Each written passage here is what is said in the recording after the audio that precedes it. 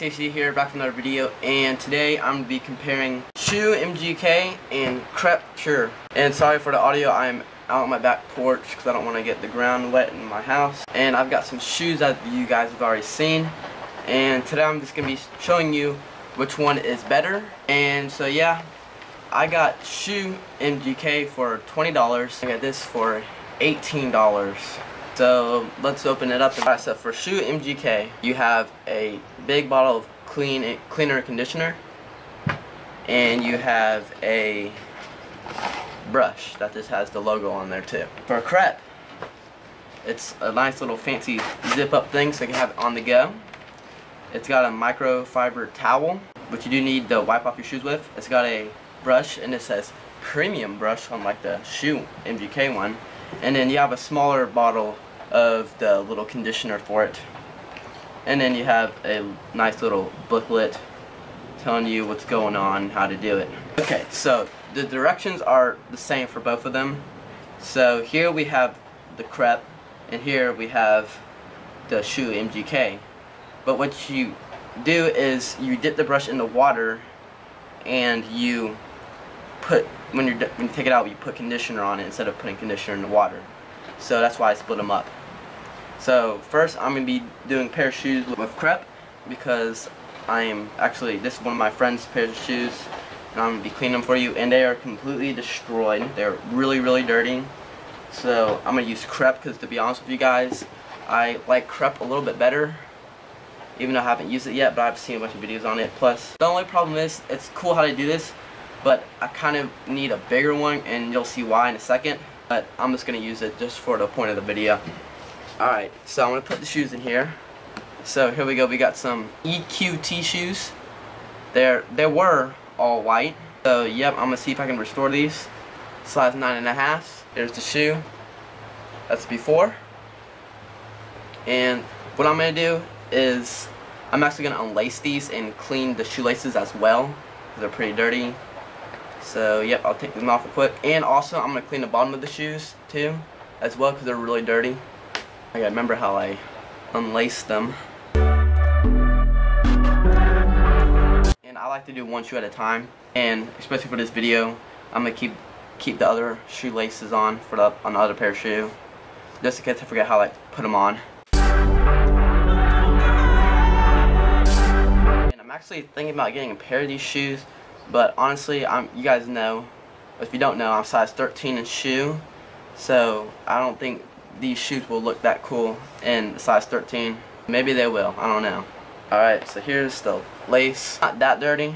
The actual shoe itself is pretty dirty. We'll set the other shoe to the side. The lace is to the side as well. And here's when the fun part comes in. I get it in the shoe. So once again, here's a little before and after.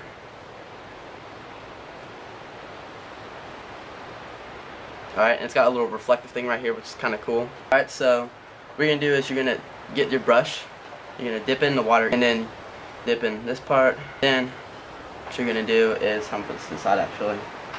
You're going to put, not on too much, I probably got to break a little seal, seal here. Oh, no, I don't. And then you just squirt a little bit of it on, not too much though. Like that. And you're going to start scrubbing away.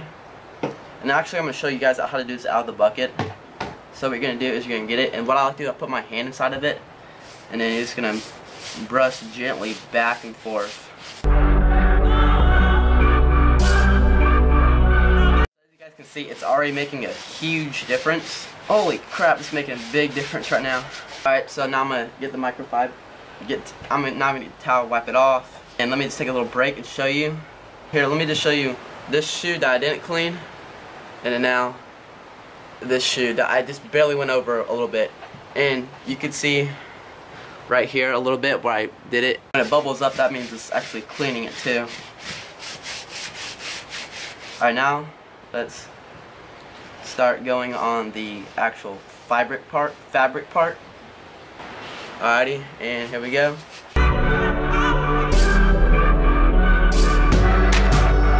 It probably looks can't really tell right now because the lighting's not the best, but I'm to more of the water. We'll put a little bit more conditioner on it real quick. I'm actually going to put on a little bit more than usual just because this part I know is really dirty. Oh, crap. Go in. Oh, holy crap. It's like a carpet cleaner. So, I haven't used Crep yet, but so far I think Crep is a lot better than Shoe MGK. So, Crep, hit me up if you want to sponsor me. Dang, this is insane. My friend's gonna be so stoked. Cause he's like, oh, just throw it in the washer. I'm like, eh, it'll shrink it. Wow, this is insane. Definitely recommend getting Crep. I will have the link in the description to buy some and also shoe MGK. Cause I haven't shown you guys that yet. Just hear from me that I like Crep a lot better. Alright, now I'm gonna wipe it off. Look at it. It's white again. Now, it might you might not look as great until I put the other shoe compared next to it. Yeah. Gotta love crap, guys. Alright now I'm gonna go to the back section.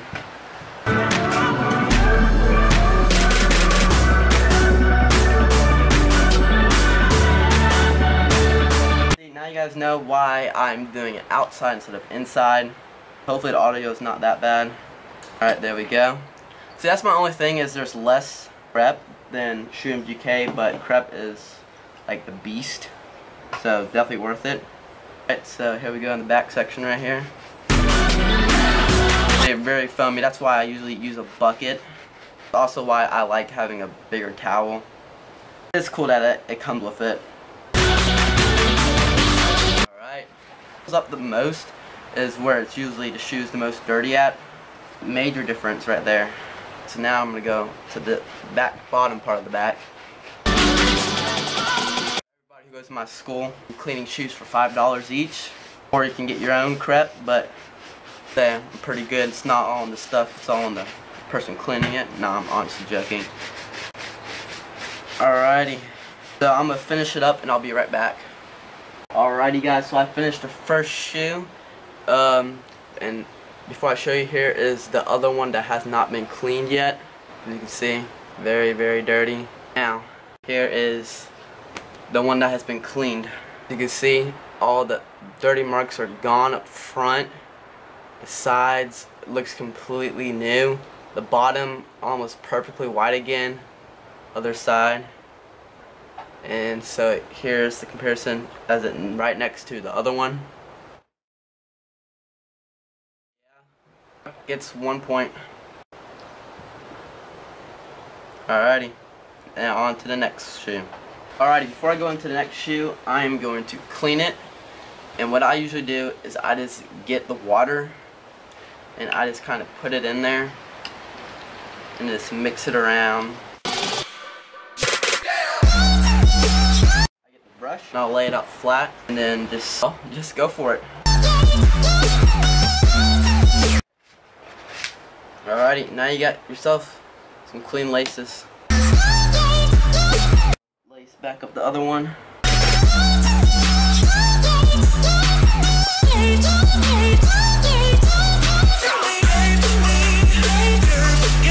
Tip, if you ever if you ever clean someone's shoes and you unlace them, make sure you lace them exactly how they had them. Be really picky about how they did it or spend a lot of time on it. So never give a shoe back to them if it's unlaced unless they ask for you to give back to them unlaced. And also, just in case you don't, you mess, just in case you mess up like I did right there, that's why you only do one at a time, so don't unlace both of them and try to just free it. Because someone might like it overlaced, someone might like it underlaced, and this person happens to like it overlaced. I don't care, and sometimes if they're like NMDs, I usually double lace them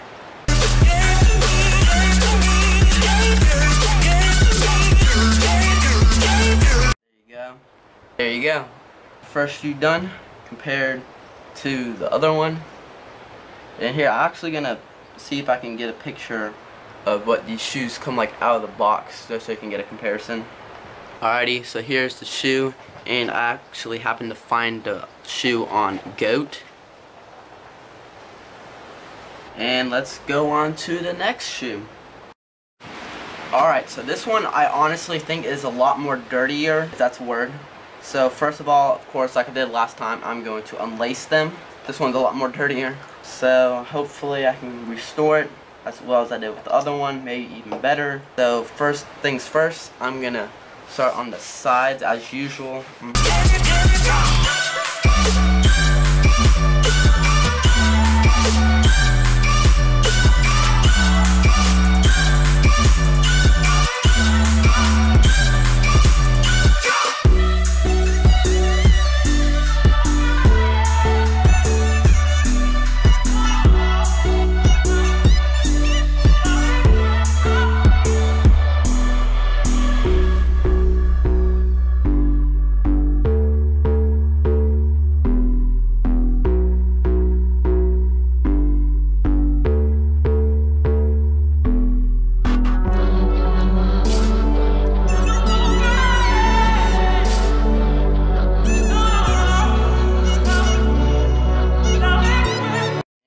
Go.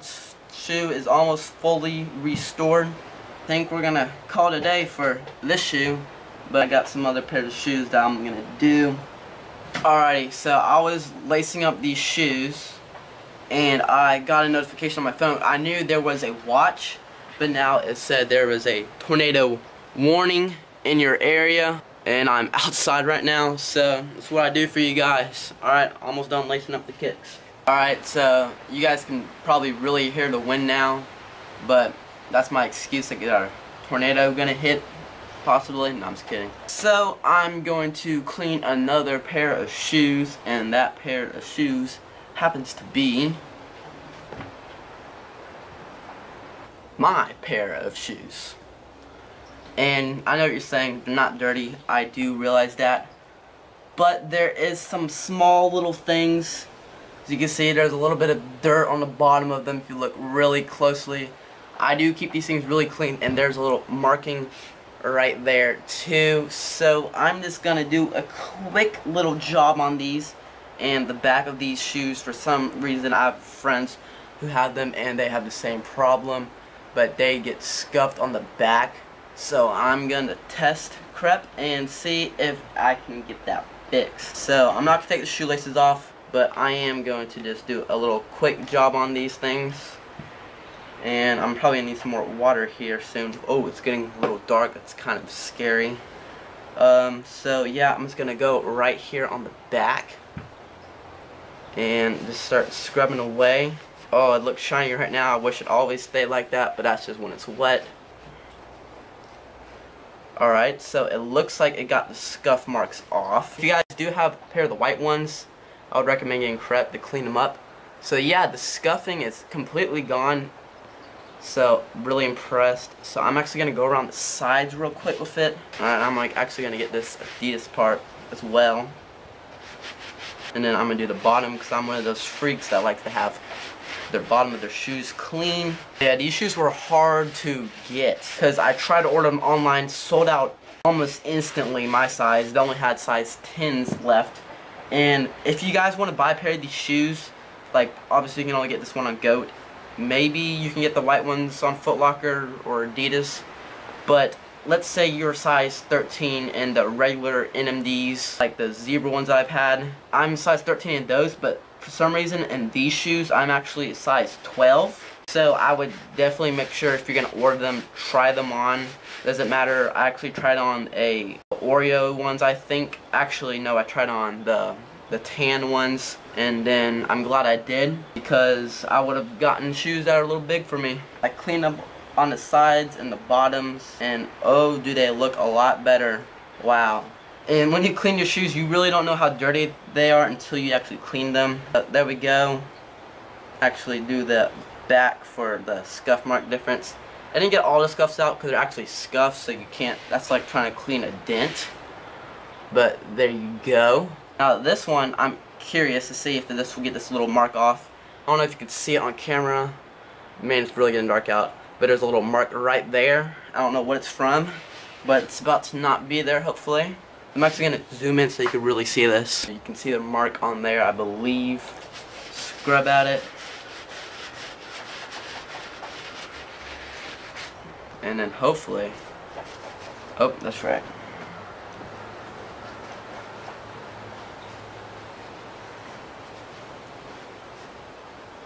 Well, it's still there a little bit. That actually might be glue from the shoe, honestly. Well, no, I got it up, actually. Looked better to me. Alright, now, next shoes. I'm actually going to do these shoes. I don't wear them. I'm actually trying to sell them for really cheap because I don't like them at all and they're not my size. But here are some Nike. I mean, these are actually kind of cool. There's some Zebra Nike SBs. They are pretty beat up. They've worn a few times too.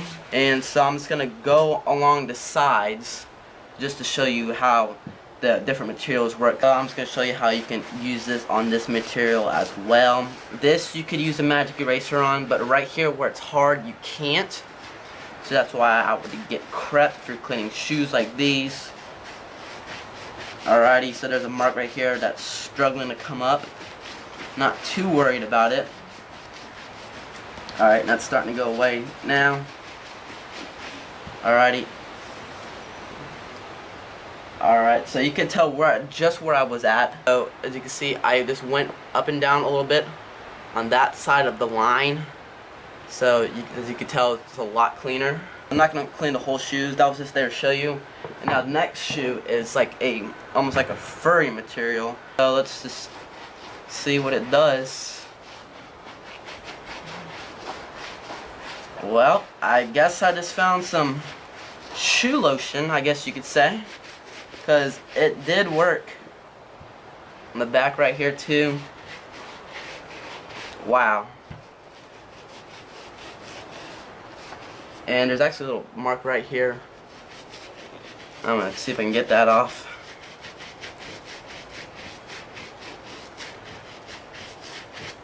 And yes, it looks like I can get that off.